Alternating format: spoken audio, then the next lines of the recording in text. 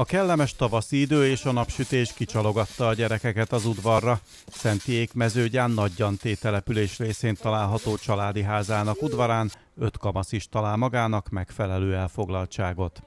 Szentiné Süle Veronika 2013-ban kezdte a nevelőszülői munkát.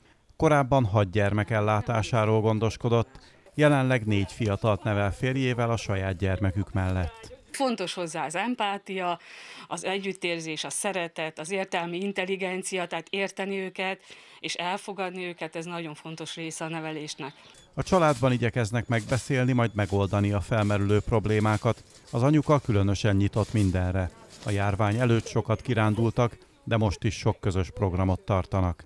Szentiné Süle Veronika csak egy témában tartja nagyon szigorúnak magát. Számomra a legfontosabb a tanulás, mert nekik csak ez a tőkéjük. Tehát a tanulást nagyon szigorúan veszem, tanulni kell nekik. Több szakmát adnék a kezükbe, meg szeretnék is adni, azzal, hogy megteremtsék a saját kis életüket. A gyermekvédelmi gondoskodásban lévő fiatalok ma már a korábbiakkal ellentétben nem nagy létszámú intézetekben, hanem nevelőszülőknél, valamint lakásotthonokban élnek.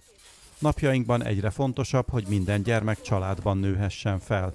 Ezért kezdett a nevelőszülői hivatást népszerűsítő kampányba Békés megyében az ország legnagyobb gyermekvédelmi intézménye, a Szent Ágota gyermekvédelmi szolgáltató. Azért keresünk igazából nevelőszülőket, mert 125 nevelőszülőnk van jelenleg, azonban az idősödő korosztály miatt hamarosan utánpótlásra lenne szükségünk.